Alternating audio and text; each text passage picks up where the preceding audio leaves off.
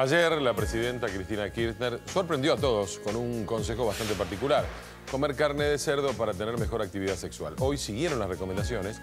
Dijo que hay que comer pollo para mejorar el cuerpo. Hace uso de la palabra la señora Presidenta de la Nación. Los discursos diarios de Cristina Kirchner están teniendo un giro inusual para la presidenta. Primero, empezó con el uso de términos lunfardos para criticar a los que se oponen al gobierno. Minga, acogotados con un collar, ni un tranco de pollo. Y horas después, dio un consejo que sorprendió a su audiencia. Comer cerdo mejora la actividad sexual. La ingesta de cerdo mejora la actividad sexual. No es un dato menor, además yo estimo que es mucho más gratificante comerse un cerdito a la barrilla que tomar Viagra. Así que les comento que yo soy fanática de la carne de cerdo y no lo digo para quedar bien, ni tampoco para hacerme propaganda de nada. Sus palabras abrieron todo un debate sobre si es verdad o no que la carne de chancho mejora la performance sexual. Eh, hasta donde conocemos no existe ningún trabajo científico serio donde hable de que ningún alimento en forma individual mejore la actividad sexual. De modo tal que no hay base cierta este, en eh, lo comentado por la presidenta. El órgano sexual por excelencia afrodisíaco es el cerebro.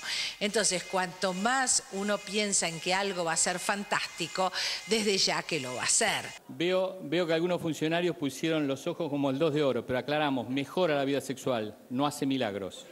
Sin embargo, a la presidenta pareció no importarle esta advertencia porque parece que un fin de semana en el Calafate comió un asado de cerdo y... Debo reconocer que no solamente comí la carne, sino que comí el cuerito hecho galletita, que queda crocante. Bueno, no saben, impresionante. Y anduvo todo muy bien el fin de semana, además, así que... Así que puede ser que tenga razón. Bueno, Kirchner me mata cuando llego Olivos. Pero ahora la presidenta fue por más y dio más consejos. Después de recorrer un establecimiento avícola, dijo que comer pollo es bueno para la salud y mejora la silueta. Yo también creo que los pollos tienen sus virtudes. Tal vez no sean afrodisíacas como las de los cerditos, pero sí adelgazan. Uno cuando come pollo es una carne muy magra, sobre todo la pechuga, y si uno está delgado, y si uno además hace actividad física, entonces siente que tal vez pueda volar con sus sueños. A lo mejor comer pollo nos hace volar también.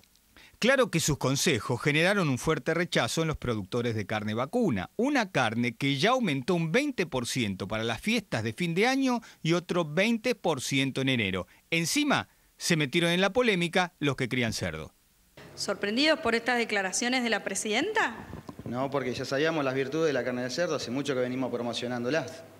Este, creo que, bueno, si bien son polémicas, este, viene a tratar de colaborar eh, con la cadena porcina y, bueno, esperemos que eh, de una vez por todas el país empiece a tener una política productiva en serio. Se busca un enfrentamiento entre productores ganaderos vacunos, productores porcinos, productores avícolas, buscando justamente eh, a dónde se inclina el consumo. Yo creo que, básicamente eso es lo que hay que destacar del último mensaje de la presidenta.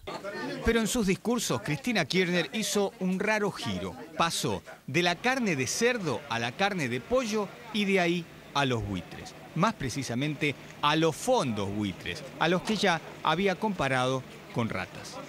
Yo quiero hablar de los buitres hoy.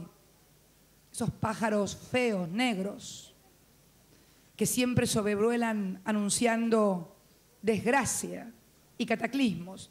Pidió entonces que no se dejen engañar y acusó a los medios de comunicación de ser cómplices de los buitres.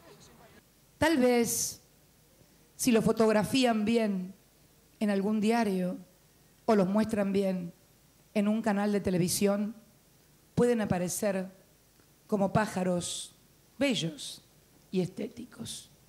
Pero finalmente, cuando pasan el tiempo de las imágenes, cuando pasa el tiempo de las palabras, cuando entonces viene el tiempo de gestión concreta en los gobiernos, Uno los ha visto una y mil veces desplegar sus alas y no saber hacer otra cosa que sobrevolar sobre la desgracia y no producir nada bueno para el país. Lo cierto es que si sigue esta tendencia, habrá que esperar nuevos y sorprendentes consejos en los discursos presidenciales.